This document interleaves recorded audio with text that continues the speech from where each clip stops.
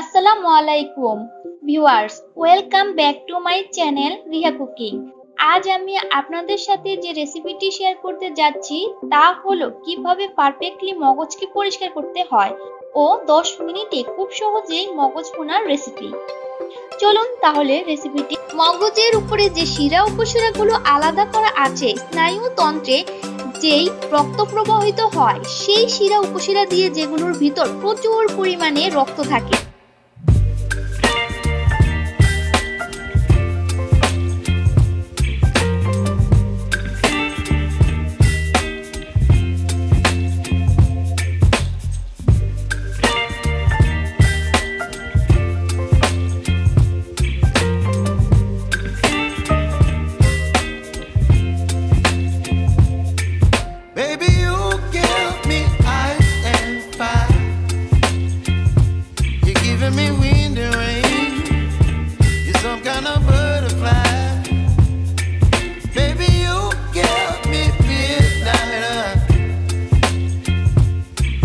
My appetite.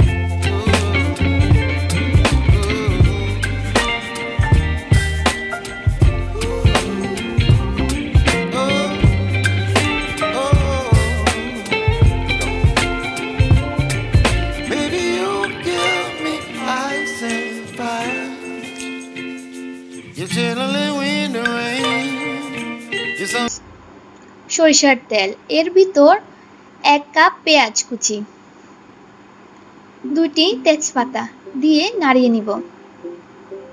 বাদামি রং হওয়া